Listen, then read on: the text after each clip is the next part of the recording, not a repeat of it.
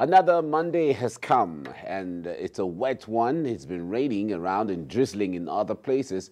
It's good to have you join us on TVC Breakfast. I am Mike Okwoche, but certainly I have my co-pilot here, Kemi Folademo. Kemi, good morning. Good morning, Mike. Good to see you. Good to see you. Great. Uh, good to see you again for another ride it's an interesting Oh one. dear, yeah. All is. right, so many activities over the weekend, uh, but certainly let's uh, take a look at this one. Now, a, fast-growing terrorist group known as the Sheila Boys is believed to have been causing nuisance in Yola, the capital of Adamawa State, under the guise of hardship over the removal of fuel subsidy. Now, following the recent invasion of NEMA office by these suspected thugs, the governor of the state, uh, Ahmadu Fintiri, uh, imposed a 24-hour curfew in Yola. Uh, the hoodlums came out in numbers early Sunday morning, attacked people with machetes and broke into business premises and homes, cutting away property.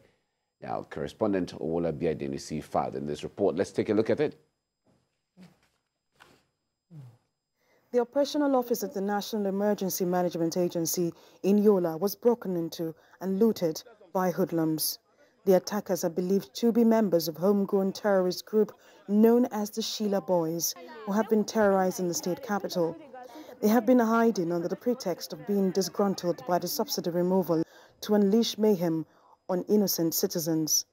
The state police commander and other security agents have now restored peace in the state capital with some of the perpetrators arrested. The PPRO in Adamawa State said that its men were able to recover some stolen goods and make some arrests. What reaches the command early hours of today that some hoodlums have gone down to vandalize and loot some government and private warehouses that is located within the state capital. Uh, there and then the commissioner of police now raised uh, the operational asset of the command and deployed them to go down to the ladder and prevent them from going ahead to vandalize and possibly loot the, the warehouses. So all of a sudden, uh, that instruction has been carried out, and as I'm talking to you now, 25 male suspects were apprehended and some items that were looted from the warehouses. This is one.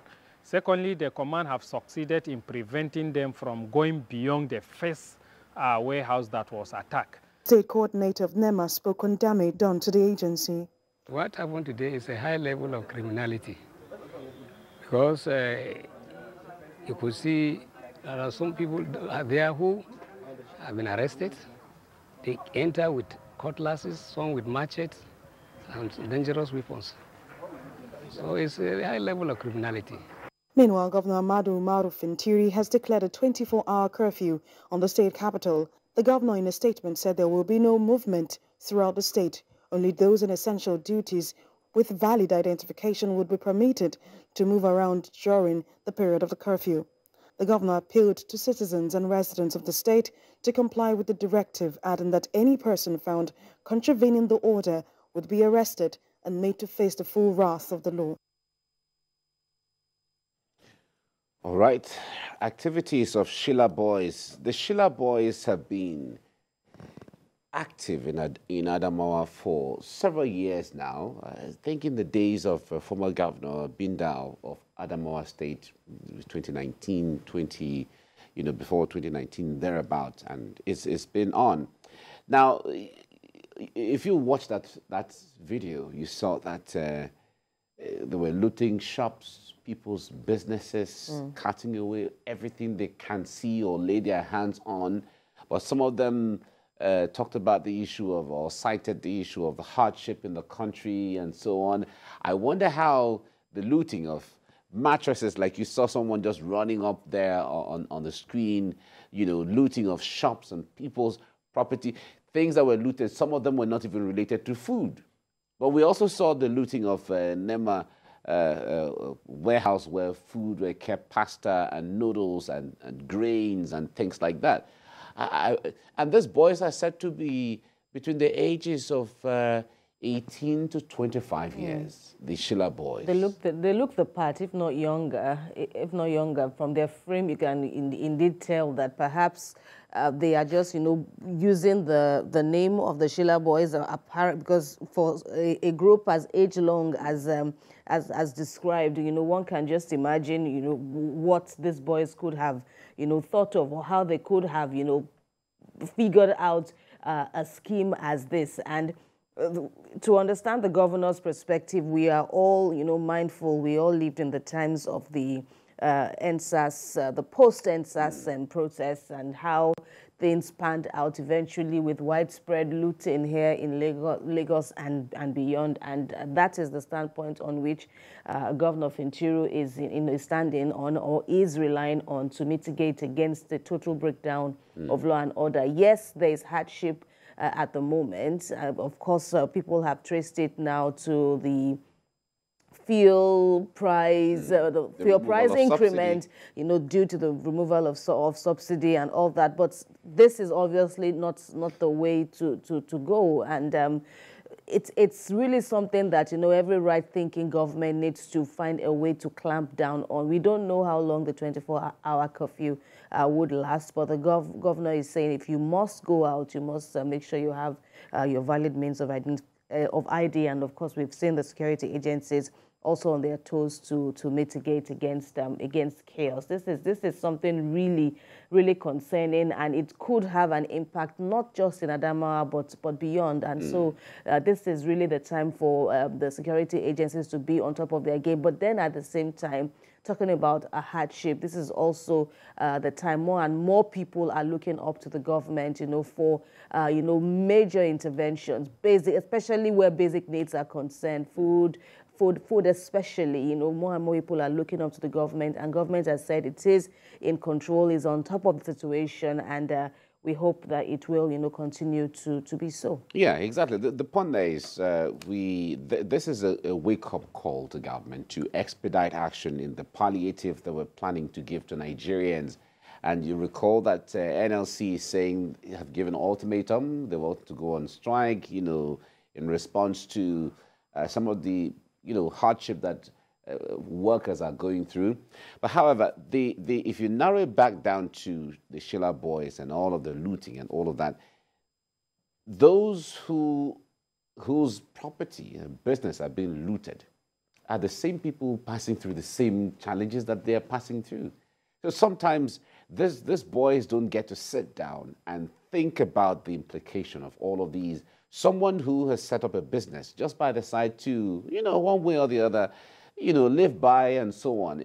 Businesses are going through different kinds of challenges right now. Those who have shops, those who, even companies themselves, a lot of companies are devising new means of trying to, you know, uh, keep afloat. Mm -hmm. Some are, you know, shutting down for a little while. Some are downsizing. Some are uh, you know, working on a rotational basis, you know, telling their workers to go home and work from home.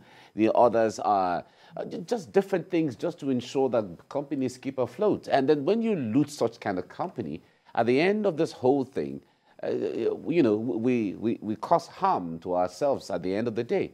Uh, it's really, it's really a disheartening situation where these people should know that uh, the fact that the, the challenges, everyone is feeling this pinch, doesn't give anyone the, uh, the warranty or the go-ahead or the excuse to begin to loot uh, property and loot different things. It's a good thing that the, the, the security uh, agencies have arrested uh, several people. I recall that uh, I think in 2021 or so, uh, the, the leaders of the Sheila boys were arrested and they, they, were, they were sentenced to to about seven years in prison mm. at the time, about three of them, or even more at the time. And as it is, with this, I believe that the security agents are going uh, do, do, do, their job the way it's supposed to be. Some have been arrested, and the 24-hour curfew is to, like you said, forestall the possibility of this escalating to other states, because as it is, everyone is feeling the impact. And if they give this excuse, and some of the boys who, are hoodlums from other states are listening and watching what's going on, they could use that also as an indeed, excuse, indeed. you know, to stage whatever they want to stage. So this, this, this alert may not necessarily be for Adamawa State alone, but for all states Absolutely. across the country so that everyone is on alert just to keep safe uh, and so on.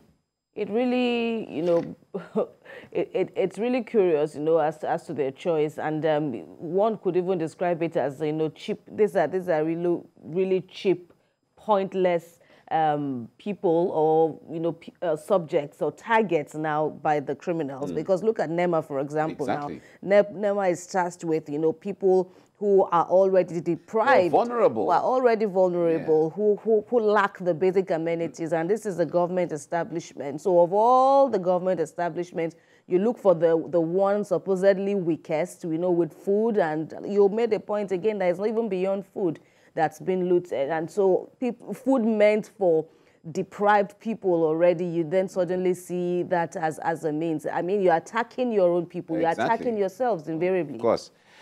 Okay, uh, we have to leave this here now. Uh, coming up, we have the